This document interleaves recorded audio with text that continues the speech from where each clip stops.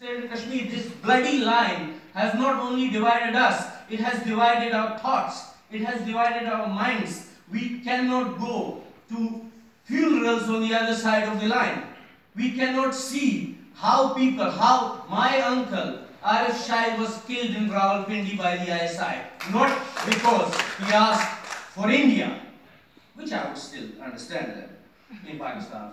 He asked for an independent Jammu and Kashmir in the Kashmir Valley, despite all the mistakes India has made, you at least have the freedom to ask for freedom.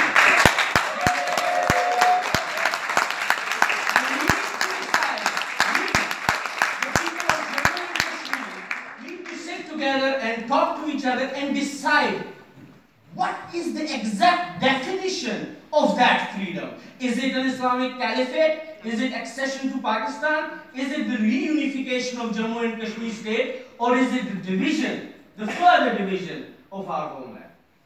For that, the most important thing is, let's talk before we jump high and low to talk with Indian and Pakistanis.